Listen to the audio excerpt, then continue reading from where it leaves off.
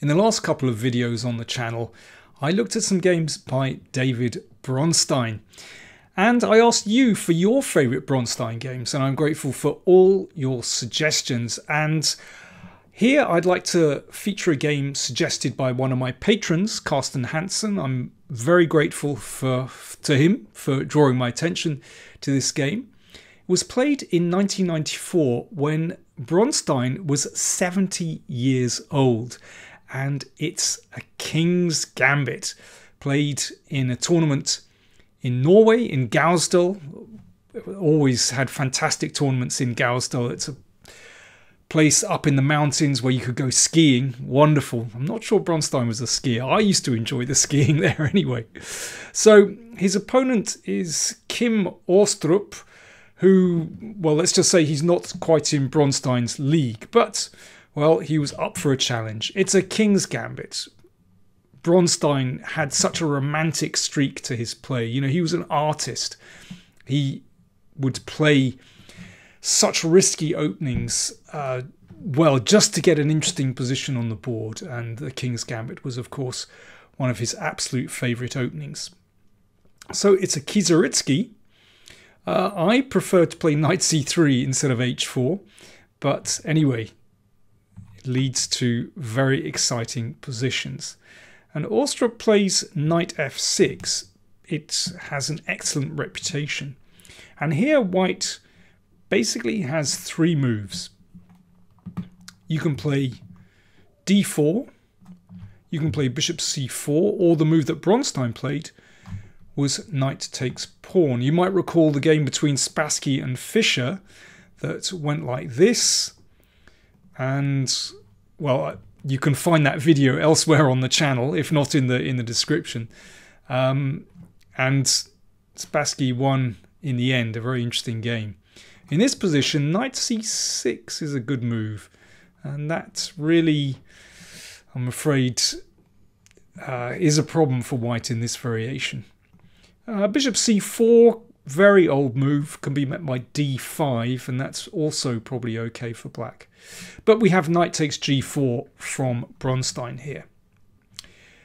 Knight takes pawn on e4. Now Bronstein played here knight c3 and apparently he'd waited 50 years to play this move. I'm not sure of the details of the story. That's that's what I read anyway the old move here is d3, and actually that's not too bad for white, although, uh, well, it's terribly complicated, but black should be okay there. It's an old move, and presumably Bronstein was trying to improve on that. Um, I'm not sure knight c3 is much better. In fact, it's probably worse. In this position, black played knight g3, which is actually fine. But it seems to me that the most sensible move here is to play pawn to d5 instead and just to get that centre pawn out and try to claim some space in the centre and get developed. But most players that have arrived at this position are tempted by knight g3. It looks like a, an incredibly strong move, attacking the rook, perhaps looking to play queen e7 check. I mean, maybe d5 is coming as well. But here, Bronstein played knight d5. Now, this is a really remarkable idea that you can get away with a move like this in the opening, where white hasn't developed any other pieces apart from these knights, and suddenly knight f6 check is threatened. Now, black plays here, I think, a good move. Bishop g7 to cover f6. You can also play bishop e7, bishop d6 probably not as good, but bishop g7 is absolutely fine. And now, of course, if you have to waste time by moving the rook, you can forget it. You've got to be consistent here. Once you start playing in this vein, you have to keep going. d4, otherwise black will have time to consolidate, get some pieces out, and then white's position is a bit of a wreck. d4. And here black, I think very understandably, just got the king out of the centre. In fact, it's possible to take the rook here. You need to be incredibly brave to play like this. And I suspect if you've got nerves of silicon, then you can get away with this. Well, white has a huge initiative here. This is terrifying. But my computer is confident that it can actually defend this position. Okay. I think castles is a very human move and not a bad move at all. So here we go. Got to be consistent. Bishop takes pawn, threatening the knight, and so the knight is pushed into taking the rook. Now this starts to get very interesting. Knight h6 check. Now if that's taken, then we've got a check. Well, bishop g7 will allow bishop h6, so king h8. And here I think white has pretty good compensation for the material. You know, the king could exit to the queen side. All white's pieces are in play. So after knight h6 check, king h8, queen h5. So, well, you can see that white's pieces are springing into action. And the king, well, if we can get queenside, that's pretty good. Then the king will be safe. If d6, then, well, the bishop comes into play. f5, then knight f7. I mean, this looks to me, well, at the very least, let's just say White has tremendous compensation for the material. Black's next move was good, queen e8 check. Just to disturb the king, but also the queen can be useful on e8. King d2, good move. King is relatively safe. It would have been nicer to have the king on c1, but in any case, it does clear the, the, the path for the rook to join the attack.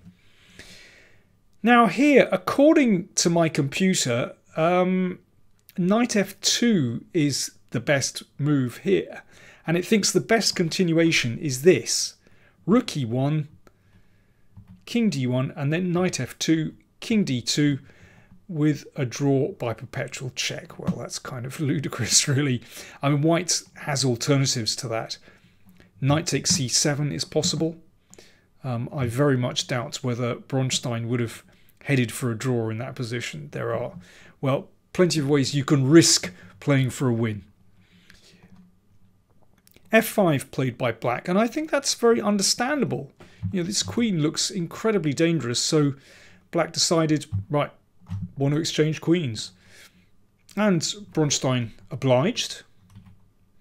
And here, actually, if he simply plays knight takes c7, just grabbing material back, obviously one of those rooks is going to go. In fact, it's a pretty clear advantage for white, just in terms of material, um, but also a huge lead in development. Black's queenside pieces are really poor, white's pieces are wonderful. But I suspect that Bronstein simply didn't really consider that and instead was just playing for the attack. And bishop d3, why not? The rook now looks at the knight. And here, in fact, knight f2 is the best move, just to get that knight out. But then knight takes c7. And, well, it, it's incredibly messy.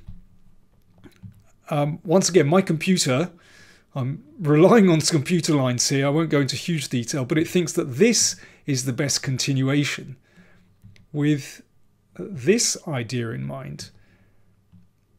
And I'm showing you this because it's absolutely remarkable. Now, at the moment, white is a piece down. But white's pieces are so active, and because the knight on e8 is protected,